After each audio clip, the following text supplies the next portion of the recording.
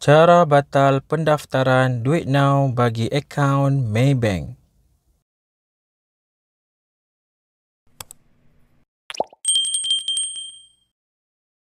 Untuk membatalkan pendaftaran Duit Now bagi akaun Maybank, anda boleh buka aplikasi MAE ataupun Maybank to You. Mana-mana lah. Contoh saya guna aplikasi Maybank MAE. Uh, bukan Maybank to You, saya guna MAE. Jadi tekan pada More Seterusnya anda tengok pada bahagian atas di bawah nama anda tekan pada menu settings.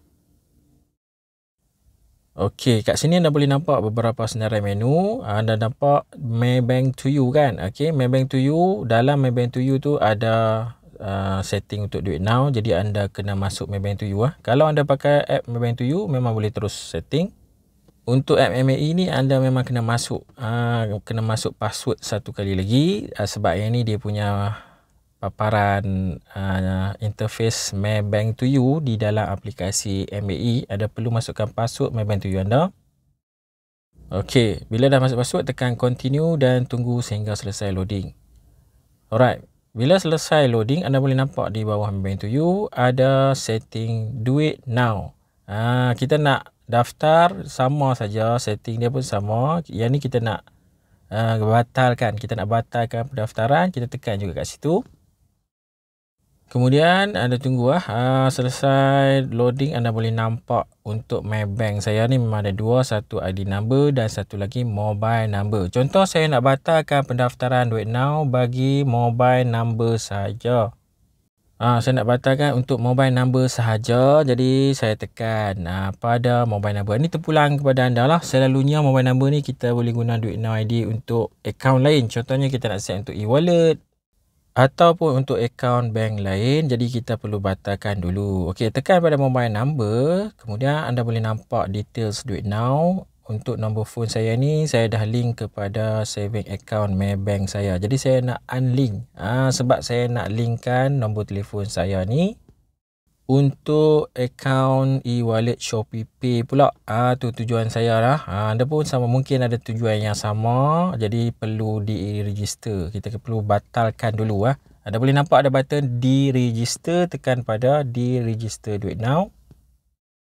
Kemudian dia akan naik pop-up di register duit now. You will not be able to receive money via this ID type anymore. Are you sure you want to proceed? Okay, kita memang nak batalkan. Jadi kita confirm lah uh, untuk proceed. Nah. Jadi kalau confirm nak batalkan duit now untuk mobile telefon ni, tekan pada confirm. Okey, dia akan hantar, memang akan hantar dekat kita one time password uh, melalui SMS kepada nombor phone yang kita daftar dengan Maybank. Jadi make sure number phone ni betul lah. Ha, walaupun ni SSX kat tengah tu kita boleh tahu lah depan dan belakang tu mungkin memang nombor kita. Kalau confirm tekan pada button confirm. Alright. Uh, tunggu OTP sampai dan uh, bila dah sampai masukkan one time password yang kita dapat daripada SMS tu ke dalam uh, menu ke dalam uh, teks kat bawah tu lah. Kita panggil apa tu titik-titik tu. Uh, masukkan number TC kemudian kita tekan right do it now successfully deregistered. Uh, itulah dia cara macam mana kita nak batalkan pendaftaran duit now kita uh, di dalam aplikasi Maybank to you. Ataupun macam saya ni saya guna MAE dalam MAE tu ada setting uh, Maybank you. Dan ada perasan bila kita buka balik setting duit now nampak tak number saya mobile number saya tak dilinkkan ke mana-mana account lagi. Ok terima kasih semua kerana menonton. Jangan lupa subscribe channel Dedok Mai. Semoga kita berjumpa lagi. Assalamualaikum. Bye bye